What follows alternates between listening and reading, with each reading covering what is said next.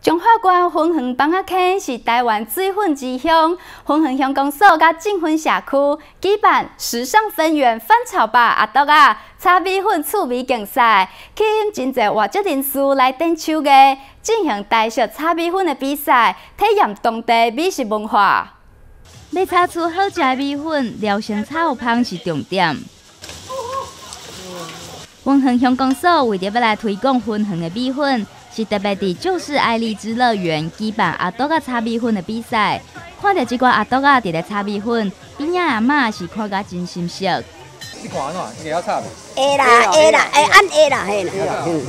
安尼炒？嘿，我咱炒嘿。啊，甲你炒起来比起来咧？比起来差不多啦，共款啦。嘿。好，好，好，按导游去一点啦，好好。来自英国的 Phil 是台湾竞赛。目前伫咧大业大学教册，今仔日是带着厝内人做回来调整炒米粉。我这次参加炒米粉比赛，我觉得很好玩。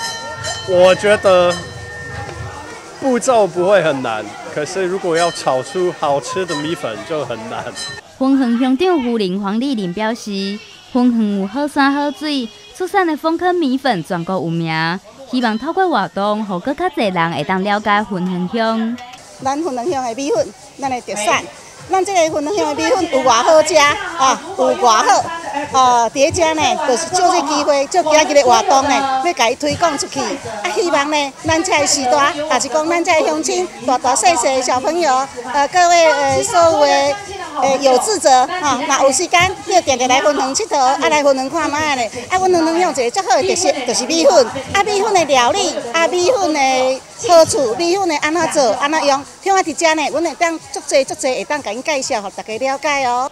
就是爱丽丝乐园在今年的四月换人经营，由台中太阳饼店原民商店接手，主拍在地产业作为特色。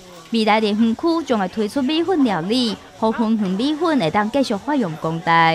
新中华新闻白冰林分园采访报道。